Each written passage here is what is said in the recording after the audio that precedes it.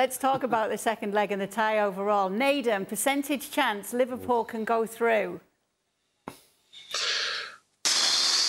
Wow. Um, I'm gonna say forty percent. Does that seem fair? Forty Ooh, that's percent. high. Hi. That's high. Okay. Yeah. I think that's high, Nedum. Forty percent.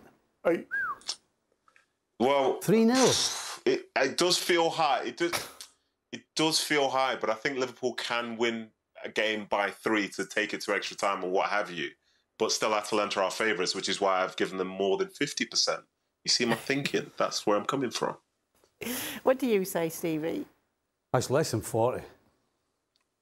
I mean, to beat anybody three 0 away from home in Europe isn't isn't easy. Um, not only you've you got the team, you've got the crowd against you, uh, and to and to have to score at least three goals, you're going to have to chase the game. And we saw what happened tonight when Liverpool chased the game at home and left all kinds of holes. And as Gab said, it could have been five. 20? 20%? It's got to be. Because you're going to, you're going to leave holes. Liverpool are going to have to. Liverpool are going to have to go that way. That means they're going to be leaving holes.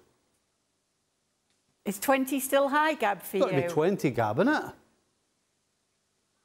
Uh, yeah, I, I'm much closer to Stevie than I am to Nedum here. Um, yeah, look, I mean, Liverpool have scored, have had games where they've won by three goals or more. Um, and by the way, uh, if they win by three goals, it goes to penalties. Uh, it's not like they've won. Um, but you know, they, they've I think they beat Bournemouth this season. Uh, they beat Sparta Prague five one. But you know, with all due respect to Sparta Prague, Atalanta aren't Sparta Prague. Um, So it's a big ask, and yeah, I, I I'd say twenty percent, maybe even a little bit less, is about right. I think it's also going to depend whether you know what happens in the league this weekend. What happens against Palace? Is there some negative carryover? Does that change the way that they approach um, this next game?